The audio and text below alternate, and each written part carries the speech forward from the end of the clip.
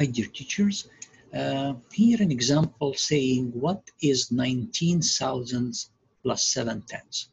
I prefer in this case we take each one 19,000 that means 19 times 1000 which means 19,000 and you notice here I leave a small gap between three, each three uh, group of, of three digits.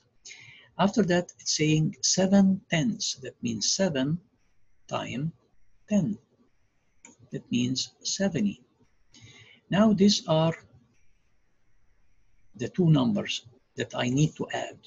But when I add, for sure, I have to respect the position of each number. The 70, I have to put it for sure here. And I add, so going to be 0, 7, 0, 9, 1. 19,070. So here, 19,070, it's clear it's number B, 19070. Thank you for listening.